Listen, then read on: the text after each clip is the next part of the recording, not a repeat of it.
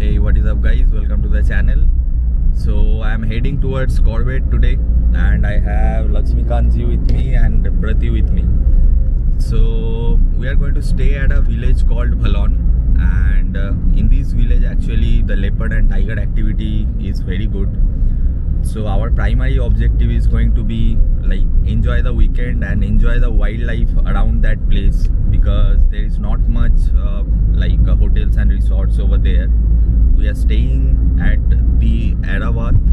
Uh, it is a newly built uh, hotel, you can say, and uh, it has dense forest just in front of it. So we are very excited. Uh, let's see. I hope that this weekend is gonna be full of adventures.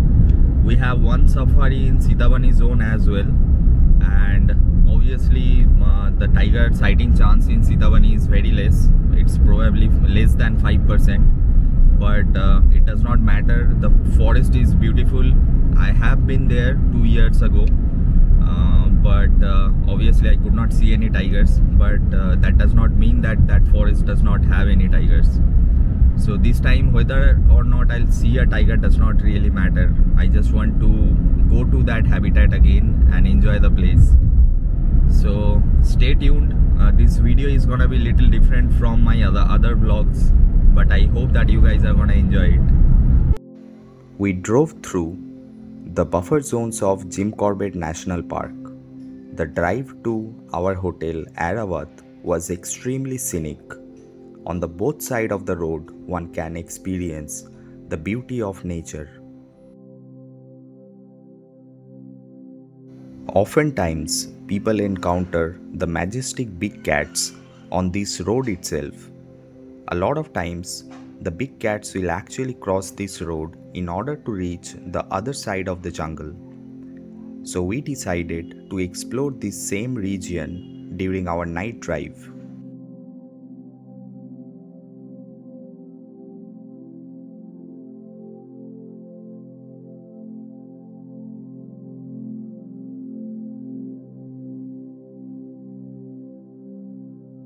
So we have reached our property. This is behind me is the gate of Airavat and just see what is there in front of me. Pure dense jungle. And this is where all the leopard and tiger activity happens. It's gonna be a like adventurous weekend I guess. I'm really excited so this is our room the room is very spacious. The beds are also very nice. If you remove the curtains then this is the view that you get. It's really beautiful. Just look at the view outside. Amazing. Very nice property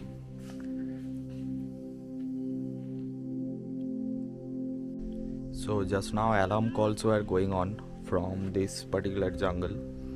And uh, the leopards actually prefer to move towards the human settlements uh, during the evening uh, to search for easy kills like dogs and all. So these habitats that you can see all these places uh, the leopards will be coming to these spots once the sun is down so yeah it's gonna be exciting. Let's see. And yeah we'll be going for uh, the night drive as well. So we'll leave late evening after the sun is down. And also we will be setting up our trap camera just outside the gate to see if there is any potential movement or not. So let's see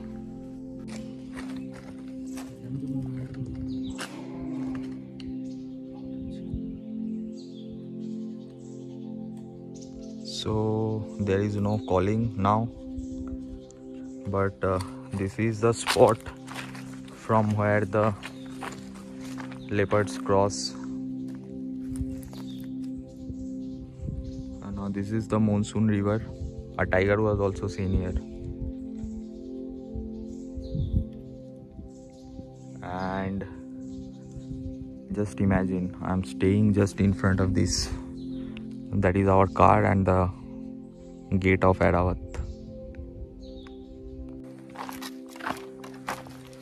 So the calling has stopped, but uh, we are inside the jungle to place our trap camera.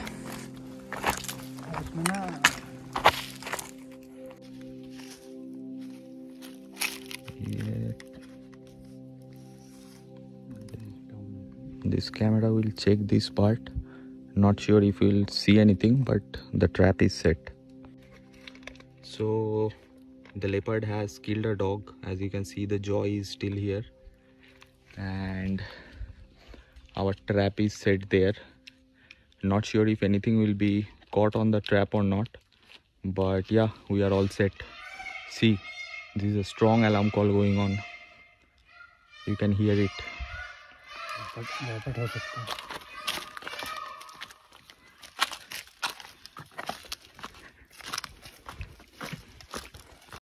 We started our night drive around 7 pm in the evening. Our goal was to explore through the main road only without disturbing the wildlife. This road is actually located at the buffer zone of Jim Corbett National Park's Sitabani zone.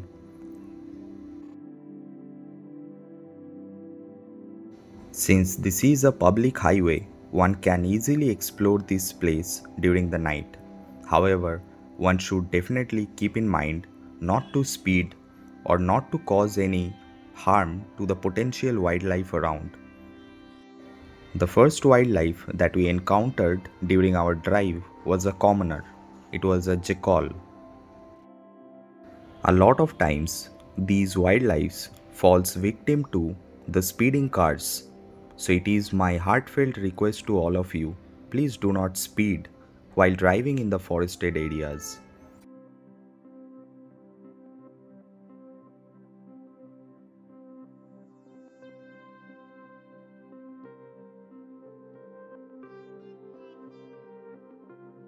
After clicking the jackal, we again started to explore the place. And then we found a big group of spotted deers eating grass in a nearby grassland. The spotted deers are the most common animal found near these areas. Generally, after the sunset, the spotted deers move towards human settlement in order to save themselves from the predators. Despite being a common species, the spotted deers plays a very crucial role for the tigers to survive. Without food, the tigers definitely cannot survive, and the other food options that the tigers have are actually declining. Since the sambar deer population is drastically declining, it is extremely crucial for the spotted deer to thrive in these forests. After observing the spotted deer, we started to drive back to our hotel, and then suddenly we heard strong alarm calls of a sambar deer, which indicates the presence of a tiger. There is strong sambar alarm call is going on. continuously. We have turned off all the lights.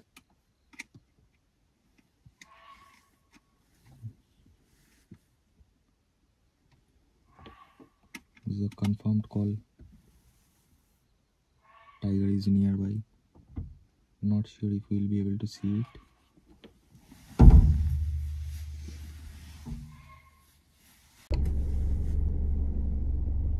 So the sambar call has stopped. We are waiting. We are expecting the tiger to cross the road. But let's see.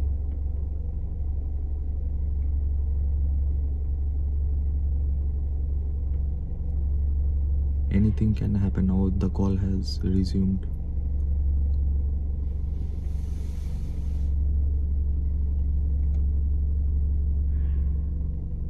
So the tiger is definitely nearby, but whether we'll get to see it or not, totally depends on luck.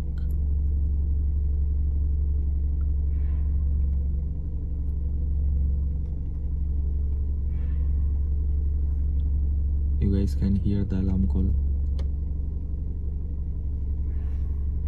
So we'll wait here for a while. Let's see. We waited at that spot for almost an hour, but the tiger did not came out. Also, in the morning I checked the trap camera footages and there were no signs of any big cats either. But despite that, the strong alarm calls of the sambar deer is good enough to confirm the presence of the big cats in this area. If you have enjoyed this video, I'll request you to subscribe to the channel. I'll be coming back with more videos like this. Until then, bye.